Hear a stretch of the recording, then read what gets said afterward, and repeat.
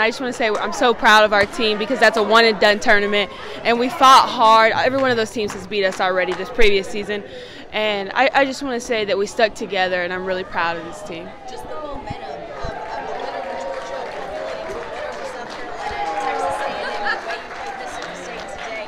Uh, this team and how resilient. Yeah, it takes a lot of heart to do that, to do it night after night after night, and that's what took us. That's what that's what got us there.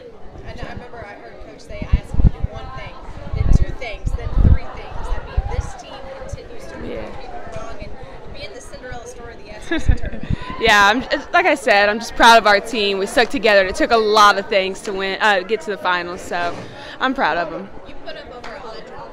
I mean, you're, break, you're, you're setting records over there. I know that you had a chip on your shoulder and something to prove. Do you feel you did that? I did. I felt like um, I went down there with a chip on my shoulder, and uh, I just wanted to play as well as I could for my team, for these seniors. They mean so much to me. Honestly, just real fast, do you think this team has done enough to prove why you deserve to go to the NCAA tournament? I do. I really do. Those teams that we beat are top 25 teams, so I definitely do.